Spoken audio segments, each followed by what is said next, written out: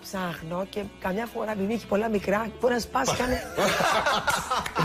Σάσα, τι σχέση έχει αυτό Με με, το την κινητό. απουσία; να σας πω για τα κινητά. Απλά επειδή σας λέω ότι ψάχνω γενικά. Ψάχνεις, ψάχνεις όταν γνωρίζεις κάποιον στην αρχή ή Άκου, καθ' όλη τη εγώ διάρκεια της σχέσης; Τα είχα τέλος πάντων με κάποιον. Ναι. Ε, είχε δύο κινητά.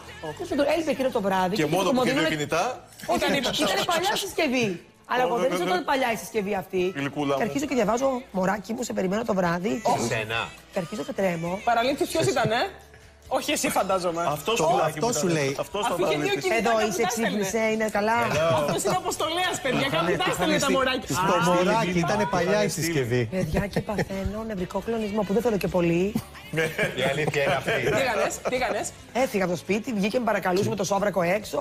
Το είπες. Με κυνηγούσε και ο σκύλος. Του το πες. Σου φαίνεται ότι δεν λέω εγώ τα πράγματα. Σου φαίνεται εδώ. Σου φέρνω το κράτησα, μα Μπορεί να βά. μας κυρία, ρε Πόσο παιδί. καιρό μετά όμως, Να το πόσο είδες και καιρό να φύγες. Δεν θυμάμαι, delete. Πόσο καιρό έχεις σχέση. Delete, delete. Είναι πολύ delete, παλιά σχέση delete, αυτή. Delete, delete, delete. Διαφημίσεις και επανερχόμαστε με Ραμόνα.